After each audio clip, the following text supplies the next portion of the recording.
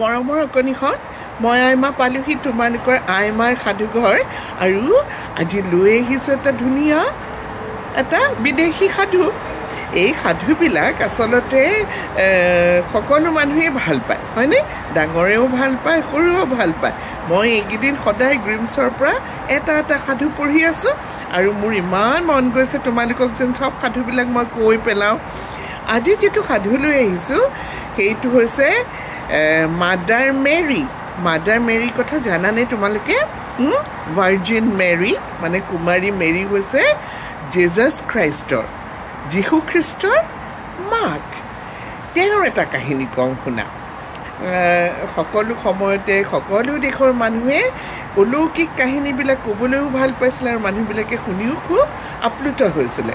আমাৰ দেশতো আমি কওঁ নহয় পৰীৰ দেশৰ সাধু তাৰপিছত তোমাৰ ৰাক্ষসৰ সাধু তাৰপিছত অপ্সৰাৰ সাধু দেৱতাৰ সাধু ঠিক তেনেকেই বেলেগ বেলেগ দেশৰ মানুহবিলাকেও কিন্তু এইবিলাক কথা বিশ্বাস কৰে আৰু তেওঁলোকেও এইবিলাক সাধুৱেই কয় আৰু শুনে। এই ফেৰী টেইলছখনত বহুতো তেনেকুৱা ধৰণৰ সাধু আছে। আজি এই সাধুটোত কওঁ শুনা এসময়ত এখন দেশত এখন বৰ ডাঙৰ হাবি আছিলে। তাত বহুতো ডাঙৰ ডাঙৰ গছ আছিলে। সেই গছবিলাক কাটিবলৈ কিছুমান খৰিকটীয়া আছিলে। তেনে এজন খৰিকটীয়াৰে সাধু এইটো। সেই খৰিকটীয়াজন বৰ দুখীয়া আছিলে। তেওঁলোকৰ এজনী বৰ মৰম লগা ছোৱালী আছিলে। কিন্তু দুখৰ কথা যে খৰিকটীয়াই খৰি বেচি ইমান পইচা নাপাইছিলে। যাৰ বাবে সেই অকণমানি মৰম লগা ছোৱালীজনী তেওঁলোকে ভালকৈ প্ৰতিপাল কৰিব পাৰিছিল। সদায় দুখতে থাকে। এদিন তেনেকৈ কাঠ কাটি থাকোঁতে হাবিৰ মাজত মাদাৰ মেৰী বা যীশুখ্ৰীষ্টৰ মাতৃ তেওঁৰ আগত প্ৰকট হ'ল। তেওঁ এগৰাকী বৰ মৰমীয়াল দেৱী আছিলে আৰু কাঠকটীয়াক ক'লে হেৰা কাঠকটীয়া তোমাৰ ইমান দুখ দেখি মই আজি স্বৰ্গৰ পৰা ধৰালৈ নামি আহিছোঁ। তোমাক অকণমান সহায় কৰোঁ বুলি। তুমি বাৰু তোমাৰ অকণমানি ছোৱালীজনী মোক দিবানে? মই সেইজনী প্ৰতিপাল কৰি ডাঙৰ দীঘল কৰি তোমাক আকৌ উভতাই দিম। কাঠকটীয়াই কথাটো অলপমান তলকা মাৰি শুনিলে আৰু খুব ভাল পালে। ভাল পাই তেওঁ ঘৰলৈ গ'ল আৰু তেওঁ নিজৰ ঘৈণীয়েকৰ লগত কথা পাতিলে আৰু তেওঁলোকে পৰীক মানে এই মাতৃ মেৰিক মাদাৰ মেৰিক সেই ছোৱালীজনী দি দিলে প্ৰতিপাল কৰিবলৈ। আৰু মাদাৰ মেৰিয়েও কি কৰিলে?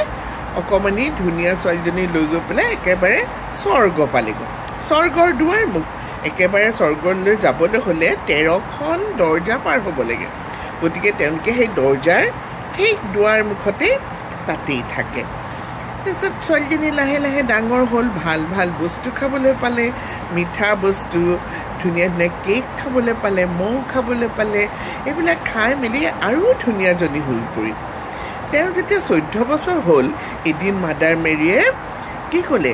তাইক ক'লে তুমি অলপ দিন অকলশৰে থাকিবা দেই তোমাৰ লগত মই কেইবাজনীও এঞ্জেল মানে হৈছে পৰি দি থৈ গৈছোঁ। তেওঁ তোমালোকক তোমাক চোৱা চিতা কৰিব। মই নহালৈকে তুমি কলৈকো নাযাবা আৰু এই যে তেৰখন দৰ্জা আছে এই দৰ্জাৰ বাৰখনত কোনো তলা লগোৱা নাই। সেইকেইখনত তুমি সোমাব পাৰা। কিন্তু তেৰ নম্বৰ যিখন দুৱাৰ আছে সেইখন স্বৰ্গলৈ যায় সেইখন খুলি পেলাই তাৰ চাবিটো মই তোমাৰ হাতত দি গ'লোঁ। তুমি কিন্তু মই নহালৈকে এই দৰ্জাখন নুখুলিবা। এই বুলি কৈ পেলাই মাদাৰ মেৰি গুচি গ'ল। আৰু এই ছোৱালীজনীয়ে কি কৰিলে জানানে? এই সৰু সৰু পৰিকেইজনী তাই তেওঁক চাবৰ কাৰণে যে ৰাখি থৈ গৈছিলে সেই পৰিকেইজনীক লগত লৈ এখন এখনকৈ দুৱাৰ খুলি খুলি প্ৰতিখন দুৱাৰেৰে সোমাই কি আছেনো চাবলৈ ধৰিলে। প্ৰতিখন দুৱাৰৰ পিছতে একোটা একোটা ডাঙৰ ধুনীয়া কোঠা আছিলে। সেই কোঠাত একো একোজন দেৱতা ধুনীয়া এটা পোহৰৰ মাজত লেম্পৰ মাজত বহি বহি আছিলে। প্ৰত্যেকটো কোঠাই তেওঁ পৰিদৰ্শন কৰিলে চালে কি কি বস্তু আছে। গৈ গৈ গৈ গৈ যেতিয়া বাৰ নম্বৰখন শেষ হ'ল তেতিয়া ছোৱালীজনীৰ মনলৈ লোভ আহিলে। তেওঁ মানা কৰি গৈছিলে দৰ্জাখন নুখুলিবলৈ। তেওঁৰ হাতত চাবিটো আছে। তেওঁ ক'লে এবাৰনো খুলি চালে কি হ'ব? খুলিয়ে চাওঁচোন। মনৰ ভিতৰত লাহে লাহে লোভ হ'বলৈ ধৰিলে। আৰু সেই দৰ্জাখন তেওঁ খুলিবৰ কাৰণে পৰিকেইজনীক ক'লে যে হেৰা আমি এইখন খুলি পেলাই লাহেকৈ ফাকেৰে চাওঁচোন কি আছে ভিতৰত। একো বস্তু মই নুচোঁ আৰু মই ভিতৰলৈও নোসোমাওঁ তেতিয়া পৰিহঁতে মানা কৰিলে বোলে নাই মাদাৰ মেৰীয়ে আমাক মানা কৰি থৈ গৈছে। আমি কেতিয়াও সেইকেইখন সেই দৰ্জাখন আমি কেতিয়াও নুখোলোঁ। Mother Marie নহালৈকে। কিন্তু ছোৱালীজনীৰ মনত যেতিয়া লোভে বাস কৰিলে তেওঁ লাহে লাহে মনলৈ বেয়া ভাৱ আহিবলৈ ধৰিলে। তেওঁ এদিন মনে মনে গৈ চুৰ কৰি সেই দৰ্জাখন খুলি দিলে। খুলি দিয়েই তেওঁ প্ৰথমতে জুমি পেলাই চালে। তাৰপিছত আকৌ অকণমান আগবাঢ়ি গ'ল। গৈ গৈ গৈ গৈ দেখিলে তাত বহুত ফুল আছে। তাৰে এটা ফুল তেওঁ হঠাৎ চুই দিলে। চুই দিয়াৰ লগে লগে গোটেই হাতখন তেওঁৰ সোণৰ হৈ গ'ল। সোণোৱালী ৰঙেৰে তেওঁৰ হাতখন আঁকি গ'ল। আৰু তেওঁ লাহেকৈ মনে মনে তাৰ পৰা ভয়তে ওলাই আহিলে আৰু তলাটো বন্ধ কৰি থ'লে। যেতিয়া মাদাৰ মেৰী উভতি আহিলে তেতিয়া তেওঁ সুধিলে তুমি বাৰু এই তলাটো খুলিছিলা নেকি? অঁ ছোৱালীজনীয়েতো মিছা কথা ক'লে। নাই নাই মই কেতিয়াও খোলা নাই। মাদাৰ মেৰীয়ে কিন্তু গম পাইছিলে। তেওঁ হাতখন দেখিছিলে। ছোৱালীজনীৰ ছোৱালীজনীৰ হাতখন একেবাৰে তোমাৰ কি হৈ আছিলে? সোণালী ৰঙৰ হৈ আছিলে। তেওঁক দুবাৰ তিনিবাৰ চাৰিবাৰ দহবাৰমান একেটা কথাকে সুধিলে আৰু বাৰে বাৰে ছোৱালীজনীয়ে ফাঁকি দিলে। নাই নাই মই যোৱা নাই ন মই খোলা নাই এনেকৈ বুলি ক'লে। মাদাৰ মেৰী তেতিয়া বিৰাট খং উঠিলে। এটাটো ভুল কাম কৰিলেই হয় নহয়? লোভ কৰি পেলাই বাধা দিয়া কামটো কৰিলেই সেইটো এটা ডাঙৰ পাপ। তাৰপিছতো আকৌ মিছা কথা ক'লে। তেতিয়া মাদাৰ মেৰী ইমান খং উঠিলে তেওঁ কি কৰিলে জানা? ছোৱালীজনীৰ জিভাখন বান্ধি পেলালে। কথা ক'ব নোৱাৰা হৈ গ'ল ছোৱালীজনীয়ে আৰু তাইক কি কৰিলে শাস্তি হিচাপে আকৌ পৃথিৱীলৈ পঠিয়াই দিলে। পৃথিৱীত আহি তাই এখন হাবিৰ মাজত পৰিলহি। সেই হাবিখনত একো খাবলৈ ববলৈ নাই। তাই গছৰ পৰা গছৰ গুটি গছৰ শিপা এইবিলাককে খাই কান্দি কান্দি কান্দি কান্দি সেই গছডালৰ তলতে বহি থাকিবলৈ ধৰিলে। এনেদৰে তোমাৰ দিন গৈ আছে ঠাণ্ডা দিন গ'ল আকৌ গৰম দিন আহিলে। এনেদৰে গৈ থাকোঁতেই এদিন সেইখন দেশৰে ৰজা চিকাৰ কৰিবলৈ আহিছিলে। তেওঁ চিকাৰ কৰিবলৈ আহি দেখিলে গছডালৰ তলত এজনী ধুনীয়া সোণোৱালী ৰঙৰ চুলি থকা তোমাৰ ছোৱালী। ইমান মৰম লাগিলে ৰজা। তেওঁ ওচৰলৈ গ'ল। তাইক কিবা সুধিলে। নাম সুধিলে ক'ৰ পৰা আহিছে এইবিলাক সুধিলে। তাইতো একো ক'ব নোৱাৰে কাৰণ তাইৰ জিভাত তেতিয়া শব্দ নোলায়। জিভাখন মেৰিয়ে বন্ধ কৰি থৈছে। হাতখন সোণোৱালী গতিকে একো ক'ব নোৱাৰাত ৰজাই মৰম লাগি ছোৱালীজনীক ঘোঁৰাত উঠাই ৰাজকাৰেঙলৈ লৈ গ'ল। ৰাজকাৰেঙত ধুনীয়াকৈ তেওঁ গা চা ধুৱাই মেলি ভাল কাপোৰ কানি পিন্ধাই দিলে আৰু ৰজায়ে তেওঁক ৰাণী পাতিলে। মানে ৰজাই ছোৱালীজনীক বিয়া কৰালে। এনেকৈ থাকোঁতে থাকোঁতে তেওঁতো কথা ক'ব নোৱাৰে অংগী ভংগীৰে কিবা দেখুৱাই। থাকোঁতে থাকোঁতে তেওঁৰ এটা ধুনীয়া ল'ৰা জন্ম হ'ল। ল'ৰাটো জন্ম হোৱাৰ পিছত মাদাৰ মেৰী আকৌ তেওঁৰ আগত উপস্থিত হ'ল আৰু হৈ পেলাই ক'লে এতিয়াও সময় আছে। কোৱা তুমি মিছা কথা কৈছিলা তুমি সেইটো কামটো যে তুমি কৰিছিলা তুমি যে দৰ্জাখন খুলিছিলা এবাৰ স্বীকাৰ কৰা। নাই ছোৱালীজনীয়েতো স্বীকাৰ নকৰিলে। তেতিয়া ক'লে শাস্তি হিচাপে মই এইবাৰ তোমাৰ ল'ৰাটো লৈ যাম। এই বুলিতো ল'ৰাটো লৈ গুচি গ'ল। গোটেই ৰাজ্যতে হাহাকাৰ লাগিলে। ক'ত গ'ল ল'ৰাটো জন্ম হৈ ল'ৰাটো নাইকিয়া হ'ল। মাদাৰ মেৰী কোনেও দেখা নাই। অকল এই ছোৱালীজনীহে দেখিছে। এনেকৈ থাকি থাকি এই কণা কটা কৰি পেলাই সেইবাৰলৈ বাৰু ৰক্ষা পৰিলে। তাৰপিছৰ বাৰ আকৌ তোমাৰ আৰু এটা ল'ৰা জন্ম পালে। এইবাৰো মাদাৰ মেৰী ৰাতি আহি পেলাই তেওঁক দেখা দিলে আৰু মাদাৰ মেৰীয়ে আকৌ সুধিলে কোৱাচোন কোৱা তুমি বাৰু সেই বেয়া কামটো কৰিছিলা নেকি? তুমি এবাৰ স্বীকাৰ কৰা। তুমি এবাৰ স্বীকাৰ কৰিলেই মই তোমাক জিভাৰ পৰা তোমাৰ ৰছীডাল গুচাই দিম আৰু তুমি সুখে শান্তিৰে ইয়াতে থাকিব পাৰিবা।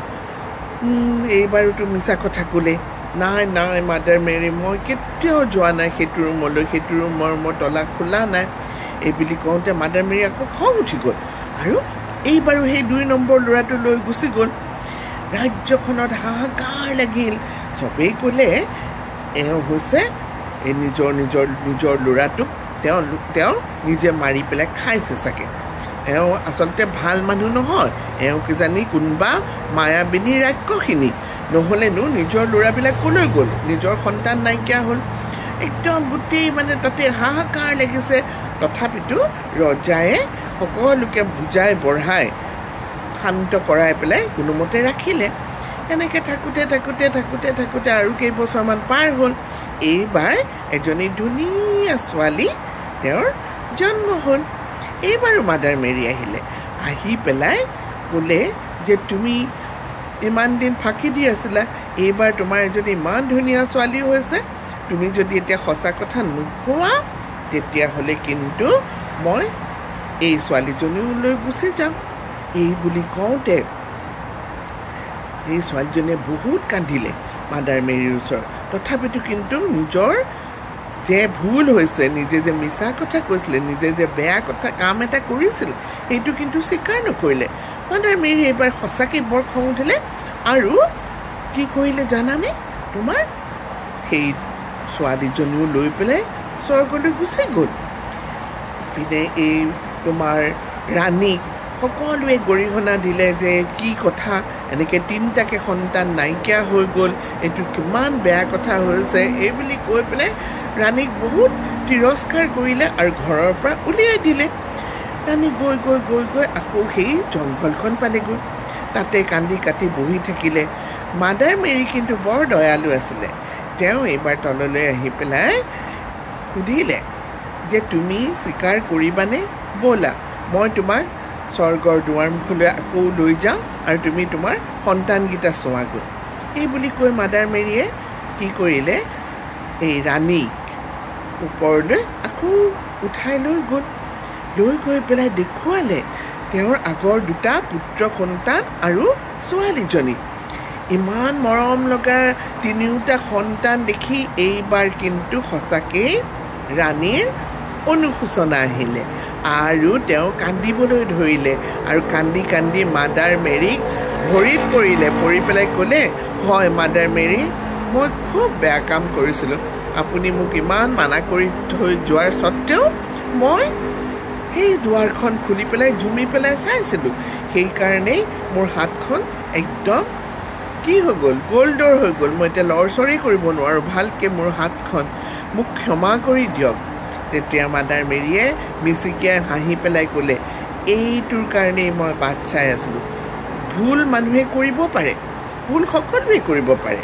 ভুল কৰি যেতিয়া মনলৈ অনুশোচনা আহিব হয় মই বেয়া কাম কৰিছোঁ মই এই বেয়া কামটো কৰিব নালাগিছিলে। এই মনলৈ যদি ভাৱটো আহে আৰু তাৰপিছত যদি স্বীকাৰ কৰে তাৰমানে কৈ দিয়ে কথাটো হয় মই ভুল কাম কৰিছিলোঁ মই আজিৰ পৰা এনেকুৱা ভুল কেতিয়াও নকৰোঁ। তেতিয়াই কি কৰে? ভগৱানে বা সকলোৱে ক্ষমা কৰি দিয়ে। গতিকে আজি তুমি তোমাৰ ভুলটো স্বীকাৰ কৰিলা। সেইকাৰণে মই তোমাক ক্ষমা কৰি দিলোঁ আৰু তুমি এতিয়া ধুনীয়াকৈ তোমাৰ দেউতাৰ ওচৰলৈ এই তিনিওটি সন্তান লৈ যোৱা আৰু তোমালোক সদায় সুখেৰে থাকিবা। মই সেয়া তোমালোকক আশীৰ্বাদ দিলোঁ।